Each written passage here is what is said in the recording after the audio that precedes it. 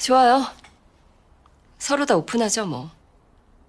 나도 그럼 사장님하고 이야기 좀 나눠야겠어요. 우리를 호텔 다니는 불륜 남녀로 누군가 몰아가고 있다.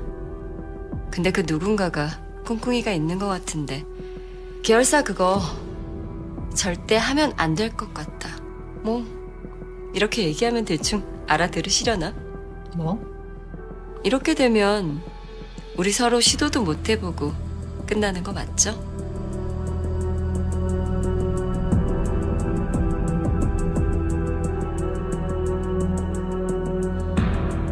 저 이제 어떻게 해요?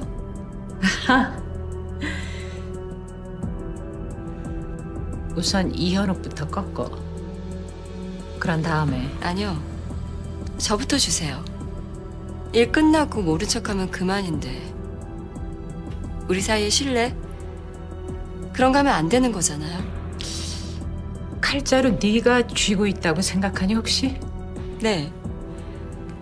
누가 봐도 제가 잃을 게 더 없어 보여서요. 생각할 시간 좀 드릴까요?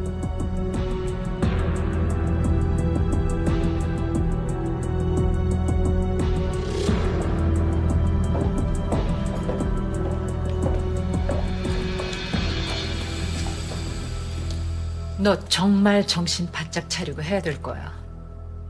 조금이라도 어긋나면 다시 뺏는 걸로는 안 끝나. 승낙치고 너무 무서운 거 아니에요? 좀 기분 좋게 해주시지.